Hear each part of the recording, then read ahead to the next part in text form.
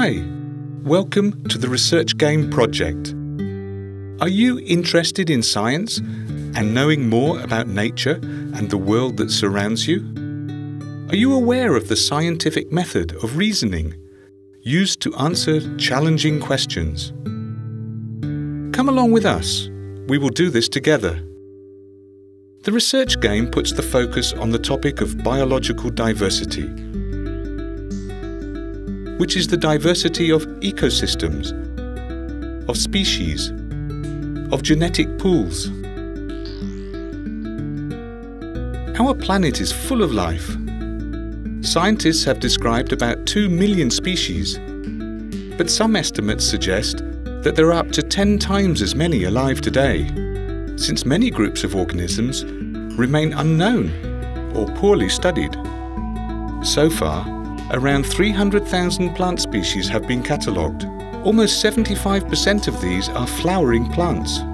Their success is closely related to that of the insects, plants' most important pollinators.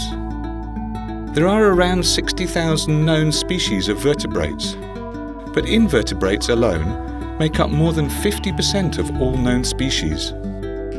They come in an astonishing variety of forms,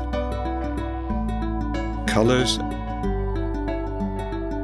and behaviours, and inhabit almost all of Earth's habitats.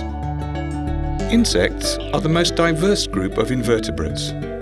You all know butterflies as the most beautiful insects, but there are also bees and beetles and many others. Biological diversity is one of our planet's most valuable assets.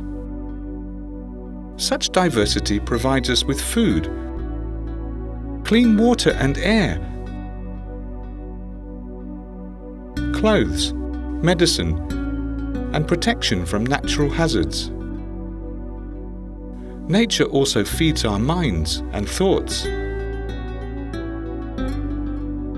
If you think of all the services that nature offers us, you will see how much we can benefit from protecting biodiversity. It is critical to maintaining and improving people's quality of life around the world. We can do this so much better if we know what we are protecting. Become a young researcher, learn more about biodiversity, and become acquainted with the steps in the scientific method. Observe. Ask a question. Study the subject. Form a hypothesis.